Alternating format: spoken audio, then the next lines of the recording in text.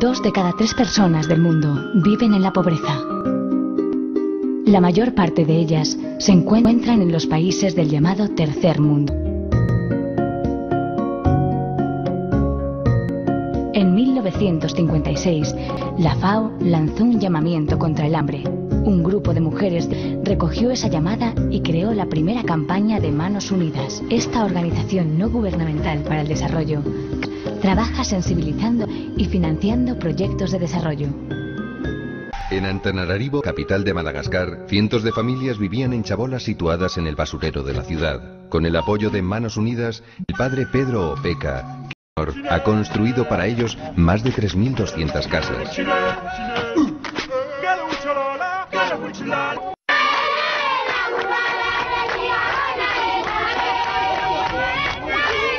Las solicitudes llegan a Manos Unidas desde muy diversos puntos del mundo.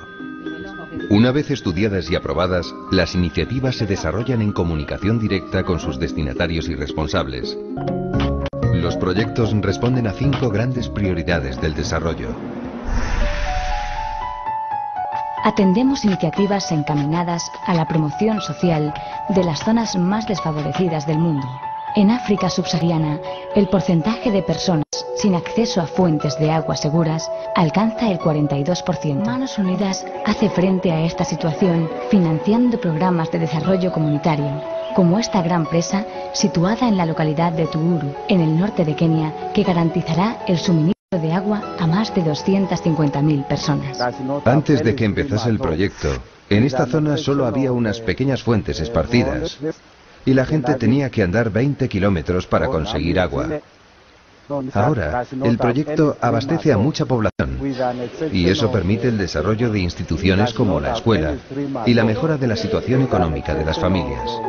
La educación es la mejor base para el desarrollo.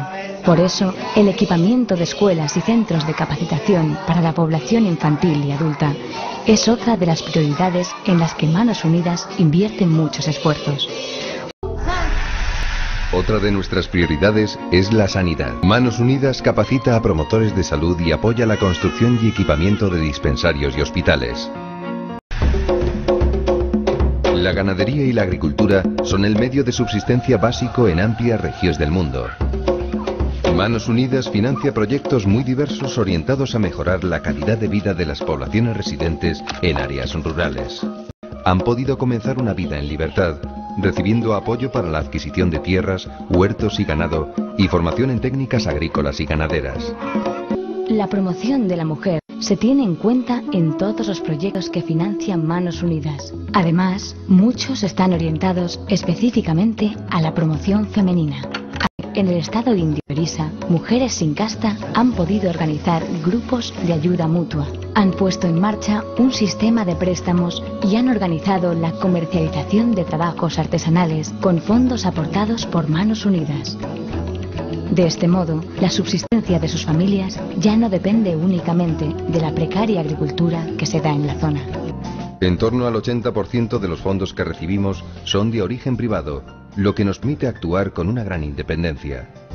Nuestros gastos de administración y estructura son muy reducidos y rondan el 5%.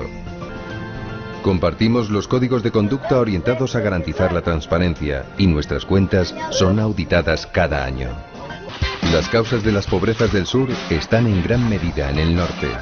Por eso, otra gran línea de trabajo de Manos Unidas es la educación para el desarrollo.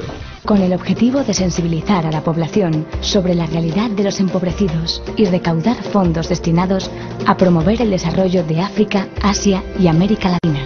Procuran, a través de estas iniciativas, impulsar cambios que promuevan la justicia e incrementar nuestra conciencia de que el mundo es uno solo y de que todos somos corresponsables de lo que en él ocurre.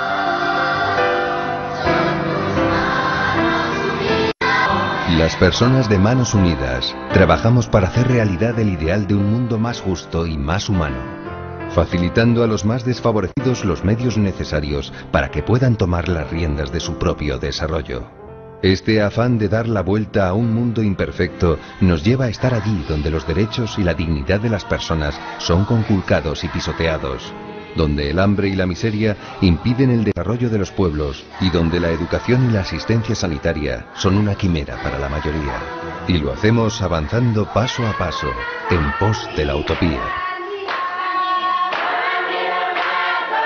La utopía está en nuestro corazón. Si te acercas dos pasos, ella se aleja dos pasos. Tal vez nunca la alcancemos, pero sirve para caminar.